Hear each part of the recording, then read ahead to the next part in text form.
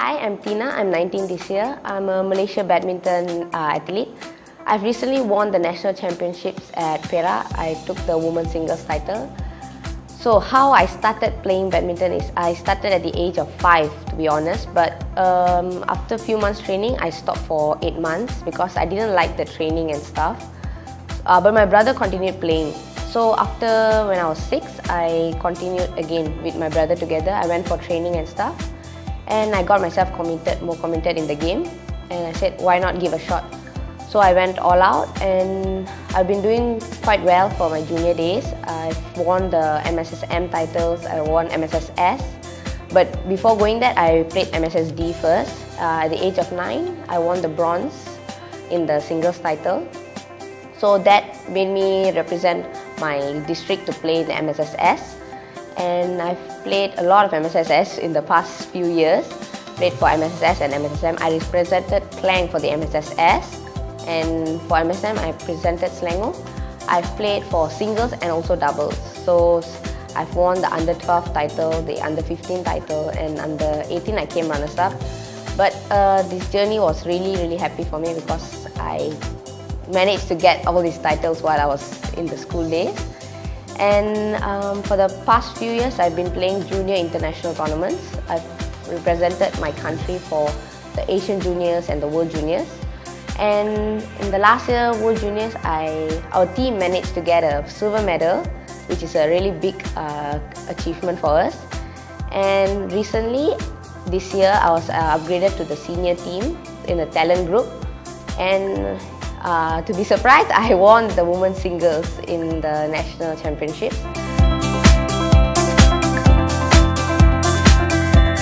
I've been having a dream to play in the Olympics since two years ago because for the next Olympics I'll be 22 and I think that's the age that I'll be at my maximum and I'll be the fittest to play.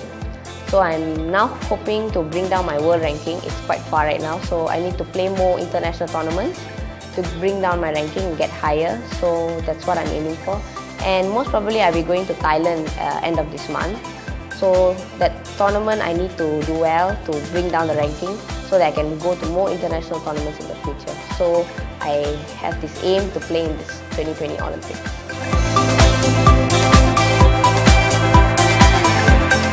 Um, for young children, do what you like. That's what I did when I was uh, at a young age. Because I had my parents to support me. They told me to do whatever I like to do. So that's how I got into badminton and I like the sport. So I went all out for it and I never gave up until now. So that's the main thing. Like you have to do what you like and make sure you go all out for it. Never give up in the sport you're doing or in any other sport.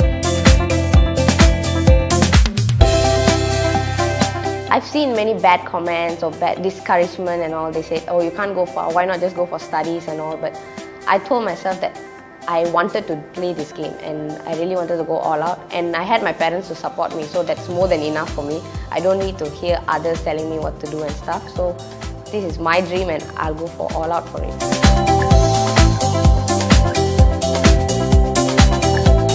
Parents have to give more support to their children. They have to have confidence in their children. Uh, they have to know that their children are ab able to do all this stuff. They have to have that confidence that they, their children have this talent and they can go all out for it. And also, there's not much of publicity in this kind of achievement. Like for me, they didn't know who was I and who am I when until recently I won the national championship. So this publicity is something that would bring others, other parents, other children more motivated to be in sports or not only in badminton but other sports uh, in particular.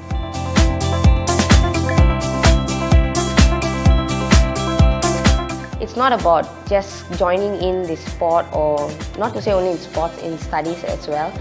You have to go all out and have that big achievement to prove yourself to others. It's not just like, oh, I'm here, I'm in it, and that's it. You have to have that aim, that goal to prove to others that, oh, I'm capable of doing something like this.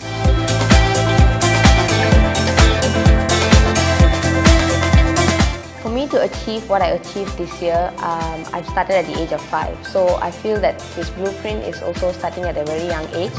And it's going to go through a 10-year plan. And in these 10 years, I have a feeling there's going to be a lot of struggles because I've gone through a lot of struggles as well. So I just hope that we can be a part of it and give our full moral support so that this 10-year plan can achieve their dreams.